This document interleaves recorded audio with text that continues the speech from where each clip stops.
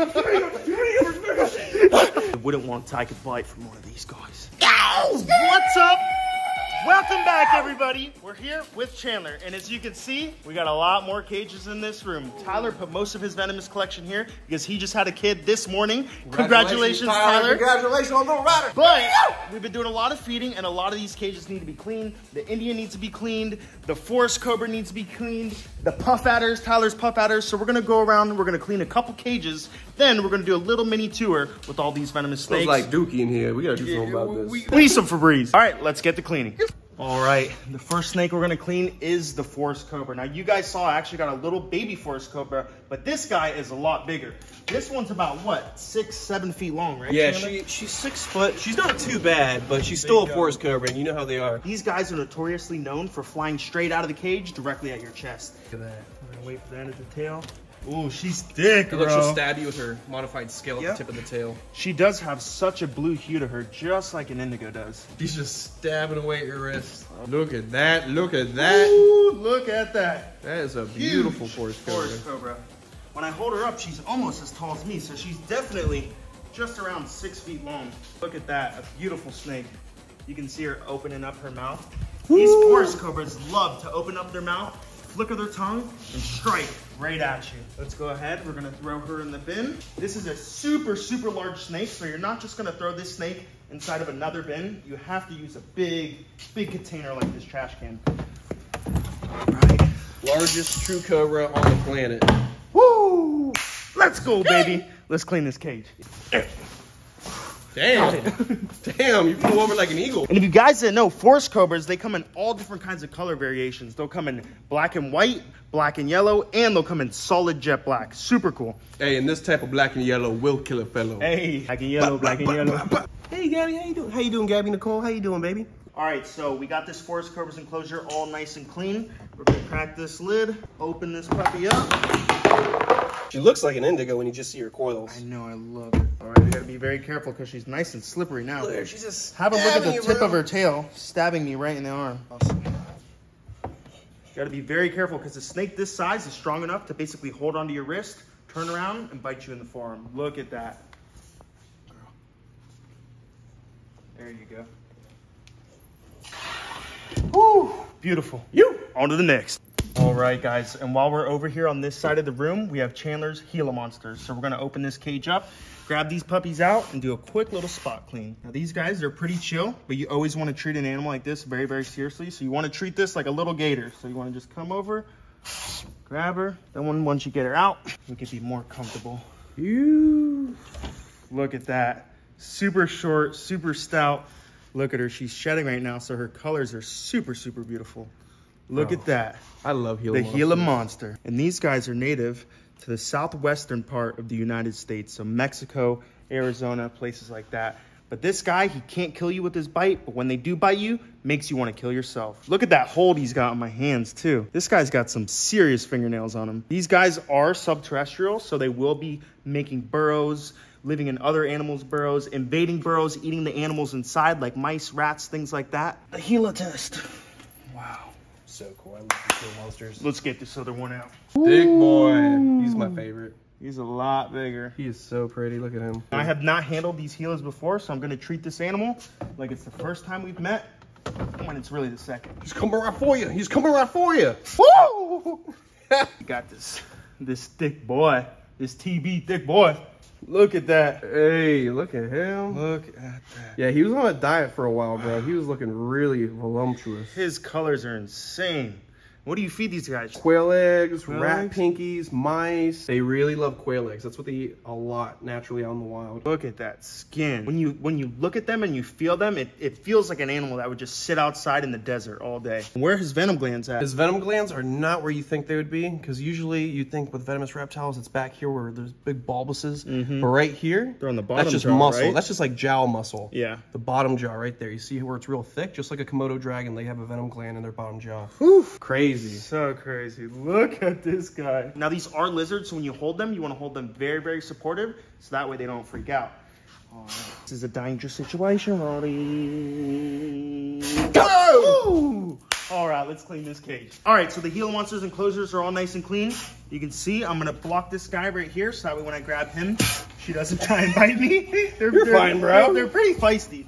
But uh, The worst thing that's gonna happen is you're gonna feel the worst pain of your life for about a week. oh yeah, the worst pain of my life. Yeah, that's not. Just with lot, lots of vomiting and, and headaches. Let's get one more nice, beautiful look at this guy. Whew, right inside beautiful. that hide. Thank you for cleaning this, dude. No worries. Got you. Taylor has a lot of snakes on his plate right now. Pan around. Look at all this.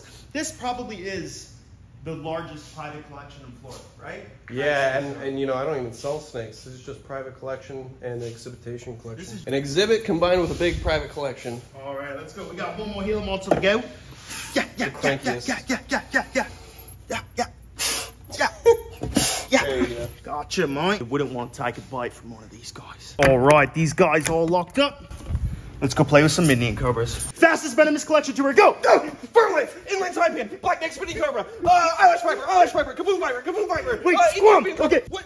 Squam! Swam! Uh, uh, Eastern Diamondback, uh, Gila Monster, Gila Monster, Forest Cobra, Yellow Anaconda, Bogan Trigger. All right, over here, over here. Chinese Shark Nose Viper, Black-tailed Rattlesnake, Green Anaconda, Green Anaconda, King Cobra, Mexican West Coast Rattlesnake, two Green Mambas, two Malaco Cobras, uh, one Plain Black Snake, one Bushmaster. Breathe, breathe, breathe, breathe. Blood Snake, Death Adder, South American Rattlesnakes, Egyptian Cobra, Eastern Diamondback Rattlesnakes, Black Mamba, Indian Cobras, South American Rattlesnake, Copperhead, Zebra Spinner, uh, Eastern Diamondback, Albino Eastern Diamondback, Hot Adder, Pygmy Rattlesnake, Giant Black Mamba, Uruguay Rattlesnake, Breathe, breathe. Wait, wait, breathe, brother. King Brown, Indian Cobra, Yellow Anaconda, whoa, Spitting Cobra, Spitting Cobra, Spitting Cobra, Spitting Cobra, Spitting Cobra, Spitting Cobra, Spitting Cobra. Wait, wait. King What's Cobra, this? King Cobra, Rattlesnake, Rattlesnake, two hybrids, King Break, mixed with Xena, Eastern We're almost done. King Cobra, King Cobra, uh, Leucistic, Monocled Cobra, uh, It's Lars. It's Lars. uh, Egyptian Snouted Cobra, uh, Mangshan Viper, Mangshan Viper, Ah, pop fighters. Spinner, spinner, spinner, spinner, spinner. spinner, spinner, spinner, spinner, spinner. I'm done. Hey, thanks for the tour, man. All right, guys. The next animal we have right here is an Indian cobra. And I always love coming over to Chandler's and handling his Indians because they are crazy. Mine is really dog tame. But this one right here is absolutely insane. Uh-oh. Oh. There she is right there, brother. Ooh. Look at that. She was hiding right up on top of the lip on that vision cage. That's why those lips are so dangerous. Guys, look at the white speckling on this Indian cobra. Absolutely insane. Look at how she hoods up. This is one of the nicest Indians I have ever seen. Look at that snake. Whew. Look at that. Super beautiful. Wow, man, I just love cobras. Cobras are my hands down favorite snakes in the world. Look at this snake. Look how he puts on a show. These are the same snakes right here that the Indian flute players will use to stay still, open up their hood, and put on a show. Because these guys are perfect show snakes. All right, we don't want to mess with her too much. We're gonna grab her up, put her in the bin, and be very, very careful, especially when we're putting that lid on, because this is a super fast Indian cobra. Ooh, doggy. Nice. All right, guys, we got the Indian Cobra's enclosure all nice and clean. We got some new cypress mulch in there, some fresh H2O. So let's go ahead and put her back in her cage. Look at this snake. Her hiss is so loud. His Indian Cobras have actually been breeding, so hopefully in a couple months, we'll have some Indian Cobra babies. Now, I have a male as well, so hopefully we can get a baby female and breed these guys one day. All right, right in the cage. There you go. Done. Now the next snakes we're gonna clean are these two little puff adders right here. And one of these puff adders looks like a Tanzania locale, which is one of the most beautiful locales of puff adders in the world. These Tanzania locales are super, super light in color. These guys are pretty much a light grayish to a bright, bright yellow. They're super, super cool. Look at that. Now their enclosure is very dirty, but that's no problem. We're gonna go ahead and get them all nice and cleaned up. But I wanna give you guys a really good look at this puff adder because this right here, this is as good as it gets. Right? And this little snake right here is one of the fastest striking snakes in the entire world. These guys, when they strike, be sure not to blink because you will miss it. These guys are absolutely insane. All right, Chandler, where do you want to put these guys? We can put them right in here. I got this little glass terrarium ready to go. And then we'll get that aspen replaced with paper towel so it's not all damp in there. Look at that, a super, super thick-bodied snake. And as this snake gets older, his color should get even more lighter. Look at that, such a beauty. All right, let's go grab this one too. This one does look like a Tanzania locale as well. Uh, he might just be deep in shed or just a darker version. Even his colors are seriously on fire. He's got some darker hues to him, but still a super light puff adder. Like I said, these snakes are lightning fast, so you don't want to mess with them too much. No free handling, no tailing for the most part, just out of the box in the tank. You.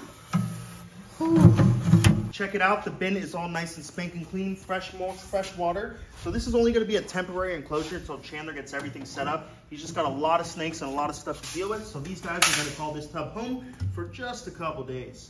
Now guys, don't go anywhere because after I put these puff adders back, we're going to meet you in my snake room and we're going to check out two new crocodilians. You guys are going to love them. Oi! Crazy, crazy puff adder. One of the fastest strikes out of any animal on earth. You! I would not want to get bit by a puff adder. All right, ladies and gentlemen, we're done here at Chandler's. We'll meet you at my snake room to check out my new two crocodilians. See you there. We just left Chandler's. We're back at the snake room and check this out. These right here are my two baby American alligators. We got one little guy swimming back here. We're actually gonna see if these guys can eat for the first time. Come on, buddy. Oh, look at that. Second day having these guys in my collection and they're already eating. Look at that. These guys were really, really skinny when they came in. So I didn't really want to feed them crickets. I wanted to feed them something high in protein that would basically fill them up and be very nutritional. Now these rats are super high in protein and that's why it's so good for these baby gators. So while he's eating that one, we also got another baby gator over here. Check this little dude out. He's hiding behind his hide right now. And we're gonna see if this guy wants to eat as well. Now, alligators are super, super good to keep in captivity. They almost always eat. The really hard crocodilians to keep is really caiman. Caiman are very, very hard to keep, but crocodiles and alligators eat anything you put in front of their face. Wee, look at these guys. And if you guys have a good name for these two little gators, comment it down below. I have a couple. There's one I really, really like, Beavis and Butthead, but if you have something better for these alligators to be named, comment it down below and we'll name that. All right, guys, that is the end of today's episode. If you enjoyed watching me handle snakes at Chandler's house, if you enjoy these baby crocodilians and want to see more content just like it, don't forget like, comment, and the most important part, subscribe to the channel. We'll see you next time.